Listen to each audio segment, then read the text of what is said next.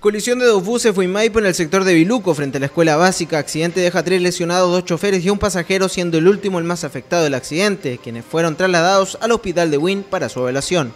No, no es tan común que ocurran esto, este tipo de hechos, pero y parece eh, como si fuera un gran impacto el que ocurrió. Sin embargo, gracias a Dios los lesionados son leves y no tenemos que lamentar ninguna pérdida de una vía. Al llegar al sector nos encontramos con dos microbuses lesionados por alcance en el cual se encontraban tres lesionados.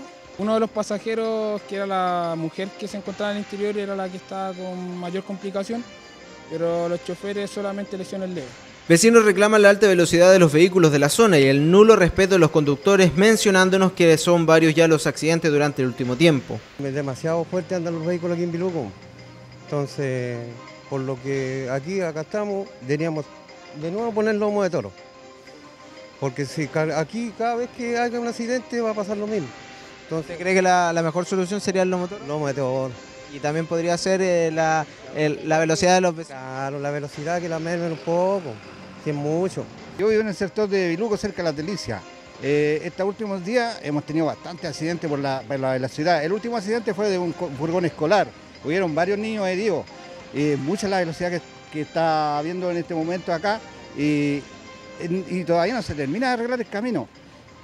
Nosotros lo que necesitamos es que vuelvan a quedar los lomos de toros que habían, porque si los colocan ocho lomos de toros no van a, no van a, parar la velocidad que está habiendo. Es mucha la velocidad y cada día va a haber más accidentes acá en Biluco.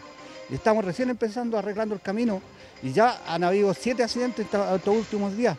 Son como diez días más o menos y siete accidentes, es mucho, mucho, mucho, mucha la velocidad que está habiendo acá. Hablamos con el director del colegio de Biluco, quien se vio preocupado por el accidente, ya que uno de los buses podría haber ocasionado un accidente de mayores consecuencias al interior del establecimiento, lugar donde se encontraban menores jugando a metros del siniestro.